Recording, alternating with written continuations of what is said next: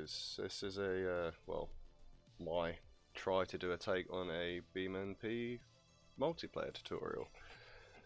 Um, so, a lot of the uh, stuff I've seen before has just been either very confusing or it's just outdated. So I thought I'd give uh, my take on it.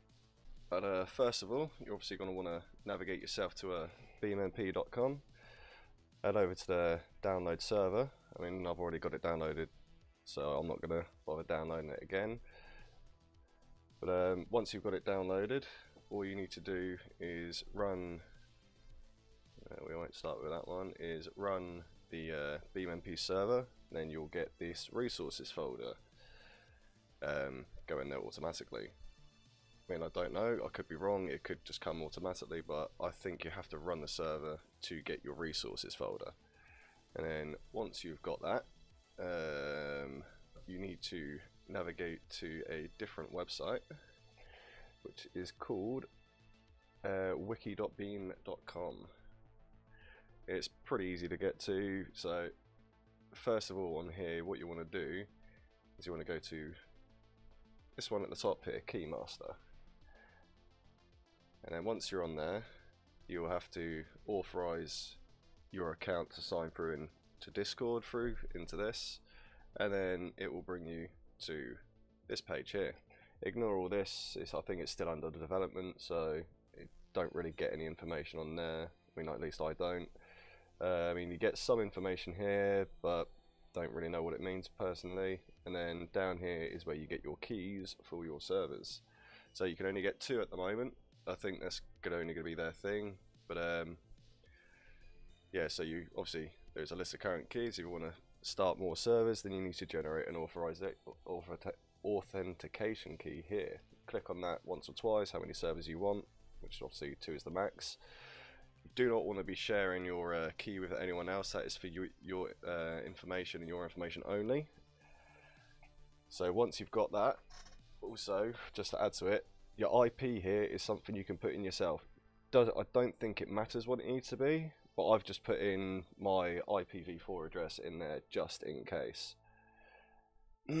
Name, again, in this part, doesn't make a difference at all. So you can put I'm a big fat dick here, and it's not really going to matter, I don't think, but I probably wouldn't just in case. Um, so yeah, once you got that, you got your authentication keys. You want to navigate to the BeamMP folder again. So once you're back in here, you'll have a server config.toml file. So what you're going to do on that is right click on it, edit with whatever notepad of choice. I just use Notepad++ just because that's what I prefer. So then in here, this is where you sort out your server description, map name, and what map it's going to be on, your max cars that people can use, the max players that you can have in the server, whether the server is private or uh, public. It's all found in this little window here. Well, I say little window in the notepad. So first of all, you've probably already spotted it. Well, I'm going to be blowing my one out so you can't host my server. I mean, not that I'm going to be bothered. If you, if you want to host my server, you can, but uh, I'd rather you didn't. So yeah, this is where you put your authorization key in this part here. So delete whatever's in there in between your, uh, whatever these parts are called. I'm not very good with grammar. So debug, all the debug is, so I shall bring it up for you here. So I've already got some of my servers running. So the debug, so we've already got someone in here. So normally when you start it up, it will just come up with blah blah blah. Uh, tell you what, I'll do it on my other one. We'll just minimize that one. Make sure I've got no one on this one. Right, yeah, so no one's on my second server, so we'll just close that down. Bring this up. Go to my server 2. So the best way to do this is when you run it, is you want to right click and run as admin. And it will come up saying all of this, PPS monitor starting, and it will come up authenticated session, and that's just your heartbeat. So if you want the debug stuff, that's what all this is, where it says debug, tells you pretty much all the information, what you've put in into the uh, config toml. And then, well, it's up to you what you want to have in there. I mean, I have it on there just so you get a little bit more information. Uh, like in here, you get the uh, debug for what uh, he's trying to do, if he's created a car or whatever, etc.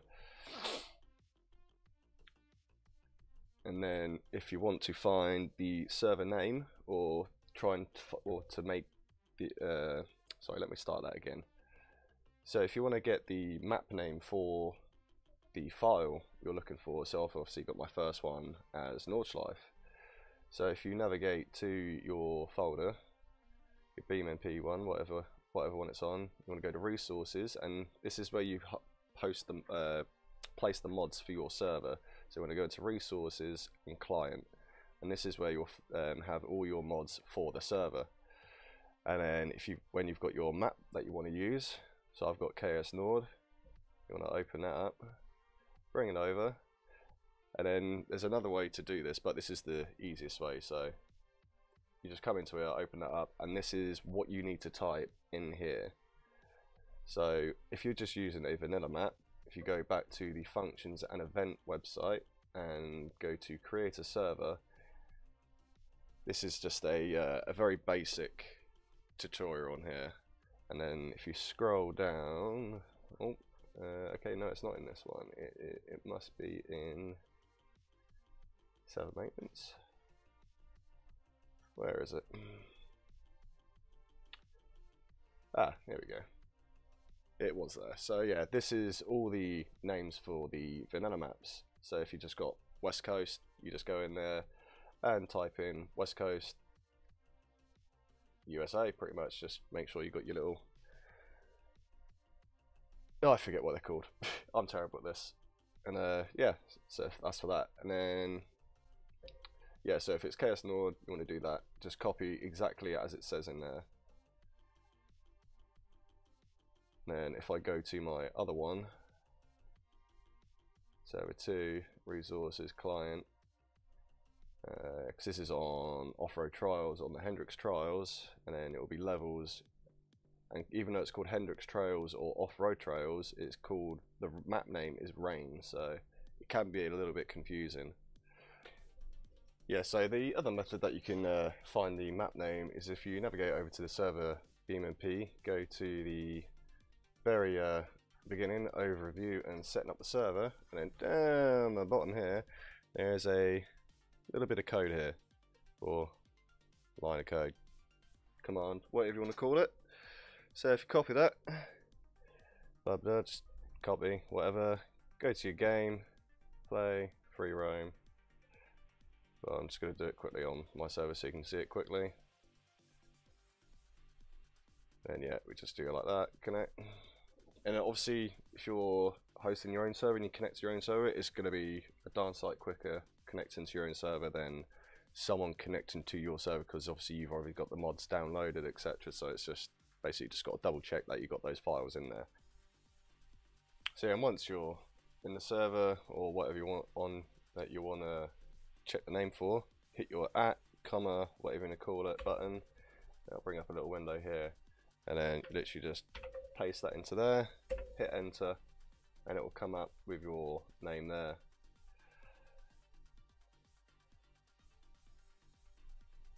Alright, so now we're getting to probably the technical part of the tutorial where you actually need to set the port forwarding. So I had to do the port forwarding through my actual internet provider, like website, app, you want to call that. Um,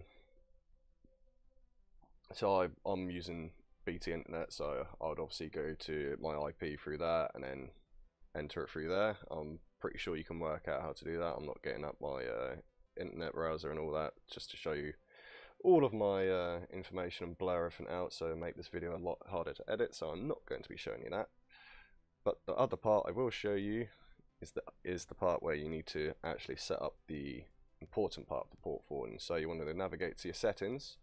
Want to go to Windows Firewall. Once you got there, you want to go to Advanced Settings. You'll get that come up. Just yes, and then there it is. Can be a bit of a bitch to find sometimes. You want to go to Inbound Rules. You want to add a new rule.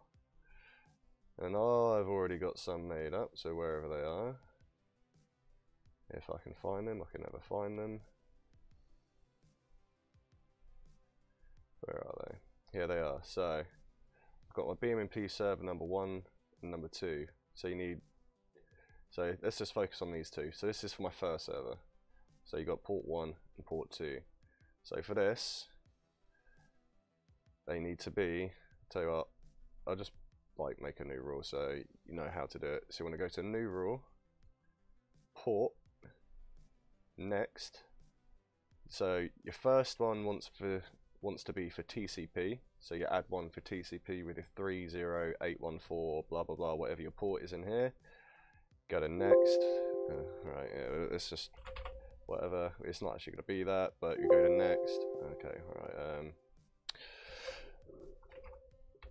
we'll just do that for example. Go to next. You want to go to allow the connection, and then next again, and then have domain and private next, and then name it whatever you want to call it.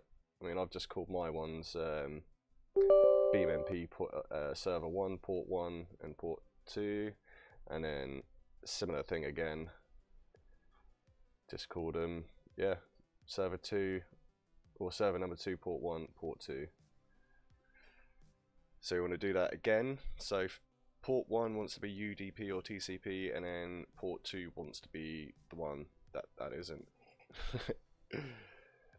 so hopefully this tutorial has been a little bit easier than just trying to guesswork and trying to find support from Discord channels and maybe getting lost in translation. But either way,